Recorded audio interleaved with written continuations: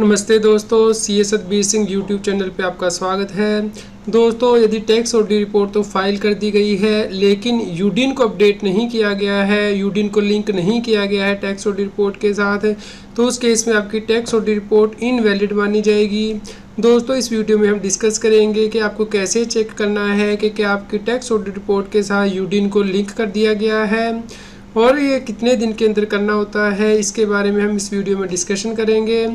दोस्तों, यदि अभी तक आपने C A Satbir Singh YouTube channel subscribe नहीं किया है तो जल्दी से सब्सक्राइब कर लीजिए और नोटिफिकेशन बेल भी प्रेस कर दीजिए ताकि आपको इनकम टैक्स के रेगुलर अपडेट्स मिलते रहें। दोस्तों tax audit report charter accountant के द्वारा अपलोड की जाती है और वेरीफाई की जाती है इनकम टैक्स के पोर्टल पे। और चार्टर अकाउंटेंट के लिए ये मैंडेटरी है कि वो यूडीन यानी कि unique document identification number generate करें टैक्स ऑडिट रिपोर्ट के लिए। ये फ़र्स्ट अप्रैल 2019 से मैंडेटरी है। दोस्तों, आप इनकम टैक्स के पोर्टल पे लॉगिन करके चेक कर सकते हैं कि क्या आपकी टैक्स ऑडिट रिपोर्ट फ़ाइल कर दी गई है और उससे क्या यूडीन लिंक हो गया है। दोस्तों यूडिन का मतलब है यूनिक डॉक्यूमेंट आइडेंटिफिकेशन नंबर तो जब टैक्स ऑडिटर आपकी ऑडिट रिपोर्ट को साइन कर देता है अपलोड कर देता है इनकम टैक्स के पोर्टल पे, उसके बाद उसे उसे यूडिन से लिंक भी करना होता है। दोस्तों, इसे आप चेक कर सकते हैं। दोस्तों, ये चेक करने के लिए कि क्या आपकी income tax audit report file हो गई है। आप ई फ़ाइल में जाते हैं इनकम टैक्स फॉर्म में जाते हैं और यहाँ पे व्यू फ़ाइल फॉर्म पे क्लिक करते हैं। उसके बाद आप यहाँ पे असेसमेंट ईयर जो फॉर्म फ़ाइल किए गए हैं form number three C B three C D यानी कि टैक्स ऑडिट रिपोर्ट उसे चेक करते हैं। तो दोस्तों, यहाँ पे आप टैक्स ऑडिट रिपोर्ट के फॉर्म जो डाउनलोड कर सकते हैं, किस दिन फ़ाइल हुए हैं, वो डाउनलोड कर सकते हैं जेसन फ़ाइल डाउनलोड कर सकते हैं, जो अटैचमेंट हुई है टैक्स ऑडिट के साथ, जैसे कि balance sheet profit and loss count वो भी यहाँ पे डाउनलोड कर सकते हैं। और यहाँ पे देख सकते हैं कि जो फॉर्म है, वो आपने एक्सेप्ट कर लिया है वेरीफाई हो चुका है। लेकिन दोस्तों, यहाँ पे ये नहीं पता चलता है कि क्या इस टैक्स ऑडिट फॉर्म के साथ यूडिन को लिंक कर दिया गया या नहीं। तो इसके लिए आपको कहाँ पे जाना है? चलिए दोस्तों, समझते हैं। दोस्तों, इसके लिए आपको इनकम टैक्स के पोर्टल पे ही लॉगिन करके पेंडिंग एक्शन के अंतर्गत जाना है। यहाँ वर्क लिस्ट पे क्लिक करना है। दोस्तों, यहाँ पे जो दूसरी टैब है फॉर योर एक्शन के बाद फॉर योर इन्फॉर्मेशन आपको इस टैब पे प्रेस करना है फॉर योर इन्फॉर्मेशन पे। और यहाँ पे आप दोस्तों देख सकते हैं कि जो यूडी नंबर है, वो मेंशन किया होगा और जो यूडी स्टेटस है, वो कंज्यूम्ड आ चुका होगा। यानी कि आपके चार्टर अकाउंटेंट ने टैक्स ऑडिटर ने इस टैक्स ऑडिट रिपोर्ट के साथ यूडीन को लिंक कर दिया है।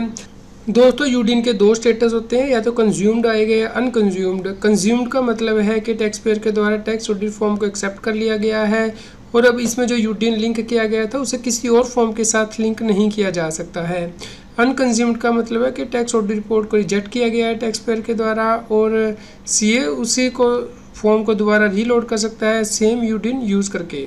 तो दोस्तों, आप इस यूडिन को यहाँ से कॉपी करके आई की वेबसाइट यानी कि यूडिन डॉट आई सी आई पे इसे चेक कर भी कर सकते हैं वेरीफाई भी कर सकते हैं। दोस्तों, आप UDIN dot I C I dot O R G की वेबसाइट पे जाके यूडिन को वेरीफाई कर सकते हैं। इसके लिए आपको यहाँ पे ऊपर वेरीफाई यूडिन पे क्लिक करना है इस वेबसाइट पे और यहाँ पे आप वेरीफाई सेलेक्ट कर लेंगे, जैसे कि अदर्स है। यहाँ पे आपको नेम एंटर करना है मोबाइल नंबर एंटर करना है ईमेल आईडी एंटर करना है। और यहाँ पे आपको यू नंबर एंटर करना है और जिसके बाद के दोस्तों ओटीपी आएगा आपके मोबाइल नंबर पे और ईमेल पे, उसे आपको यहाँ पे एंटर करना होगा वेरीफाई करना होगा, जिसके बाद के ये यू आप वेरीफाई कर पाएँगे। तो दोस्तों, इस प्रकार से जो यू है वो ओपन हो जाएगा। यहाँ पे लिखा होगा कि किस चार्टर अकाउंटेंट के द्वारा मेंबर के द्वारा ये वेरीफाई किया गया है, उसकी फॉर्म का आईडी क्या है और जो आपकी टैक्स ऑडिट रिपोर्ट के इंपॉर्टेंट पर्टिकुलर होंगे, जैसे कि टर्नओवर है प्रॉफिट है रिटर्न डाउन वैल्यू है एसेट की पैन नंबर टेक्स्ट्रा है, वो यहाँ पे मेंशन किए होंगे तो आप इसे वेरीफाई कर सकते हैं। दोस्तों, किस चार्टर अकाउंटेंट को, यानी कि टैक्स ऑडिटर को यूडिन कितने टाइम के अंदर अपडेट करना होता है? दोस्तों, इसके लिए उसके पास 60 डेज़ टाइम होते हैं यूडिन को जनरेट करने के लिए। आई की वेबसाइट से इसमें date of signing and date of generation of UDIN जो है वो इंक्लूडेड होते हैं। लेकिन यदि किसी अथॉरिटी को इससे पहले जो है यूडिन की आवश्यकता होती है इमीडिएटली तो उस केस में यूडिन को इमीडिएटली जनरेट करना होता है। दोस्तों, कोई चार्टर अकाउंटेंट यूडिन को कितने टाइम के अंदर रिवोक कर सकता है? दोस्तों, इसके लिए उसके पास से 48 आवर्स होते हैं from the date of generation तो 48 आवर्स के अंदर वो उसे रिवोक करवा सकता है, यानी कि डीएक्टिवेट भी कर सकता है। तो इसलिए आपको इंश्योर करना है कि आपकी जो टैक्स ऑडिट का यूडिन है, वो एक्टिव हो। तो आप आई की वेबसाइट पे इसे जाके चेक कर सकते हैं। स्टेटस नीचे एक्टिव लिखा हुआ आएगा। दोस्तों, यदि यूडिन को रिवोक किया गया है टैक्स पेयर के एक्सेप्टेंस के बाद तो उस केस में जो टैक्स ऑडिट फॉर्म है, वो वैलिड नहीं माना जाता है। दोस्तों, यदि यूडिन को रिवोक कर दिया गया है और revised tax audit report submit की गई है और उसमें फ्रेश यूडिन अपलोड किया गया है। तो जब टैक्स पेयर एक्सेप्ट कर लेगा रिवाइज अपलोडेड फॉर्म उसे ही डेट ऑफ़ सबमिशन माना जाएगा।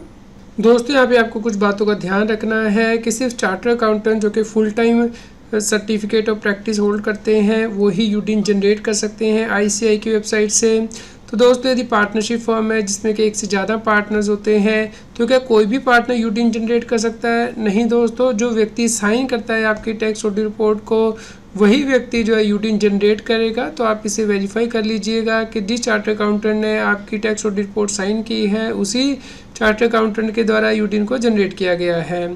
तो दोस्तों, क्या कोई फॉर्म रजिस्टर कर सकते हैं यूडिन पोर्टल पे? सिर्फ़ मेंबर ही रजिस्टर कर सकते हैं, जिसके पास के फुल टाइम सीओपी होता है। दोस्तों, यदि कोई असाइनमेंट सीए फॉर्म के द्वारा कैरी की गई है तो उस केस में यूडिन कौन जनरेट करता है? दोस्तों, जो पार्टनर या प्रोपरेटर साइन करता है डॉक्यूमेंट को, वही यूडिन जनरेट करता है। यदि एक से ज़्यादा पार्टनर ने असाइनमेंट को साइन किया है तो उस केस में सभी साइनिंग पार्टनर को यूडिन को जनरेट करना होता है सेपरेटली दोस्तों, जो यूडिन है, वो सिर्फ़ प्रैक्टिस सी ही जनरेट कर सकता है, जिसके पास फुल टाइम सीओपी हो, जो मेंबर है इंडस्ट्री में, वो जनरेट नहीं कर सकता है। इसी प्रकार, जिस व्यक्ति के पास पार्ट टाइम सीओपी है, वो भी यूडिन को जनरेट नहीं कर सकता, क्योंकि उसके पास सर्टिफाइंग फ़ंक्शन नहीं होता है, वो सर्टिफाई नहीं कर सकता है डॉक्यूमेंट्स को, जिसके पास फुल टाइम सीओपी होता है, वही यूडिन को जनरेट कर सकता है। दोस्तों, जब चार्टर अकाउंटेंट के द्वारा यूडीन जनरेट किया था टैक्स ऑडिट रिपोर्ट के लिए तो यहाँ पे जीएसटी एंड टैक्स ऑडिट का जो फ़ंक्शन है, वो चूज़ किया जाता है। और उसके बाद यहाँ पे जो फॉर्म टाइप है, वो चूज़ किया जाता है। तो दोस्तों, यहाँ पे टैक्स ऑडिट रिपोर्ट का जो फॉर्म है थ्री सी बी का, किस क्लोज के अंतर्गत वो टैक्स ऑडिट कर रहा है? Section forty four A B A A B B etcetera जो रिस्पेक्टिव क्लोज है, वो चूज़ करता है। तो आप ये देख लीजिएगा कि यही क्लोज आपके टैक्स ऑडिट रिपोर्ट में मैंशन होता है। तो उससे मैच कर लीजिएगा और यहाँ पे आपको असेसमेंट ईयर चूज़ करना होता है और यहाँ पे आपको कुछ वैल्यूज़ डालनी होती हैं, जैसे कि total turnover as per tax audit report net profit return down value of the asset assessment year PAN of the assessee तो दोस्तों, जो आपकी टैक्स ऑडिट रिपोर्ट होती है, उसमें सीरियल नंबर एट के अंतर्गत फॉर्म थ्री सी में क्लोज मेंशन होता है कि किस क्लोज के अंतर्गत इनकम टैक्स एक्ट के अंतर्गत टैक्स ऑडिट किया गया है। तो यही क्लोज यूडिन में मेंशन करना होता है चार्टर अकाउंटेंट को तो आप ये चेक कर लीजिएगा कि क्लोज सही हो। दोस्तों टैक्स ऑडिट रिपोर्ट के दो पार्ट होते हैं, जैसे form three C A three C D या form three C B three C D तो क्या इसके लिए सेपरेट यूडिन जनरेट करने होते हैं? जी नहीं दोस्तों यूडिन आपको पर असाइनमेंट पर सिग्नेटरी बेसिस पे जनरेट करना होता है। इसलिए इस केस में एक ही यूडिन जनरेट होगा form three C A three C D के लिए या three C B three C D के लिए। दोस्तों, यदि आप नेक्स्ट भी अटैच करते हैं टैक्स ऑडिट रिपोर्ट के साथ तो उसके लिए आपको कोई सेपरेट यूटीन नहीं जनरेट करना सेम यूटीन को आपको मेंशन करना है, जो आपने ऑलरेडी जनरेट कर लिया है। दोस्तों जब charter accountant tax audit report file करता है तो उसके साथ फाइनेंशियल स्टेटमेंट भी अटैच करता है, जैसे कि balance sheet and profit and loss तो दोस्तों, क्या उसके लिए अलग से यूटीन जनरेट करना है? दोस्तों, यदि जो फाइनेंशियल स्टेटमेंट है, उसे ऑडिट करवाने की आवश्यकता नहीं है किसी और एक्ट के अंतर्गत तो उस केस में आपको सिर्फ़ टैक्स ऑडिट के लिए ही यूटीन को जनरेट करना होता है। दोस्तों, यहाँ पे आपको ध्यान रखना है कि सीए के द्वारा टैक्स रिपोर्ट अपलोड कर दी गई है, बिना डिन के या फिर जो डिन है वो सिक्सटी डेज़ के अंदर अपडेट नहीं किया गया है तो उस केस में जो फॉर्म एक्सेप्ट किया गया है टैक्स पेयर के द्वारा वो इनवैलिड माना जाएगा और इस केस में माना जाएगा कि टैक्स ऑडिट रिपोर्ट फ़ाइल ही नहीं हुई है और इसके अकॉर्डिंग जो इनकम टैक्स में कॉन्सिक्वेंसेज हैं वो आपको बियर करने होंगे। दोस्तों, इसी प्रकार यदि कोई फॉर्म अपलोड कर दिया गया सी के द्वारा विद यूडिन लेकिन टैक्स पेयर ने एक्सेप्ट नहीं किया है तो उस केस में भी इसे फ़ाइल हुआ नहीं माना जाएगा। दोस्तों, किस दिन जो टैक्स ऑडिट रिपोर्ट फ़ाइल हुई मानी जाती है? दोस्तों, जिस दिन C A tax audit report को अपलोड कर देता है उसके बाद टैक्स पेयर उसे एक्सेप्ट कर लेता है, वो डेट या फिर जब चार्टर अकाउंटेंट यूडिन को फर्निश कर देता है इनकम टैक्स की वेबसाइट पे, वो डेट इन दोनों में से जो भी डेट सबसे बाद में होती है, उसे ही जो है date of submission of tax audit report माना जाता है। दोस्तों, यदि टैक्स पेयर के द्वारा टैक्स ऑडिट रिपोर्ट एक्सेप्ट कर ली गई है और बाद में सीए के द्वारा यूडिन को रिवोक कर दिया जाता है तो जिस दिन यूडिन को रिवोक किया गया है, उस दिन से माना जाएगा कि टैक्स ऑडिट रिपोर्ट इनवैलिड हो गई है और अकॉर्डिंगली जो इनकम टैक्स के कॉन्सिक्वेंसेज है, वो बियर करने होंगे टैक्स पेयर को। दोस्तों इनकम टैक्स डिपार्टमेंट के द्वारा यूडीन को वैलिडेट किया जाता है। बैक एंड पे जब ये वैलिडेट हो जाता है, उसके बाद इसे वैलिड माना जाता है।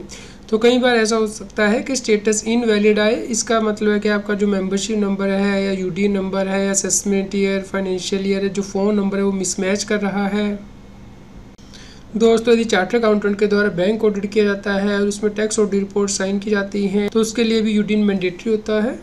दोस्तों, यदि आप बैंक ऑडिट करते हैं तो फाइनेंशियल स्टेटमेंट का भी ऑडिट करते हैं टैक्स ऑडिट भी करते हैं तो आपको सेपरेट यूडीन जनरेट करने हैं। फाइनेंशियल स्टेटमेंट के लिए सेपरेट और टैक्स ऑडिट के लिए सेपरेट दोस्तों चार्टर अकाउंटेंट इनकम सेस की वेबसाइट पे लॉगिन करके जो यूडी ने अपडेट कर सकता है। इसके लिए वो ई फ़ाइल में जाएगा इनकम टैक्स फॉर्म में जाएगा और view and update UDIN detail पे क्लिक करेगा। तो यहाँ पे सिंगल पैन के अगेंस्ट भी वो यूडिन को अपडेट कर सकता है या फिर बल्क यूडिन भी अपडेट कर सकता है। और यहाँ पे यूडिन का जो स्टेटस है वो चेक कर सकता है। बल्क यूडिन का उम्मीद करते हैं दोस्तों, आपके लिए यह न्यूज़ यूज़फुल रही होगी। कृपया लाइक करें और शेयर करें ताकि सभी लोगों तक ये जानकारी पहुँच पाए और वो इनकम टैक्स की कॉम्प्लाइंस कर पाएँ। रेगुलर जीएसटी और टैक्स अपडेट के लिए इस चैनल को सब्सक्राइब करें। फ्रेंड्स आप T D S income tax GST और अकाउंटिंग सॉफ्टवेयर ऑडिट रेल के साथ कॉम्प्लायंस आसानी से कर सकते हैं। इन सॉफ्टवेयर के डेमो देखने के लिए आप हमें मोबाइल नंबर के साथ ईमेल कर दीजिए TaxHeal at the rate Gmail dot com पर। आप हमें टेलीग्राम ऐप सी एस बेसिंग टैक्सील पर ज्वाइन कर सकते हैं ताकि आप जीएसटी और इनकम टैक्स के रेगुलर अपडेट अपने मोबाइल पर ही प्राप्त कर सकें।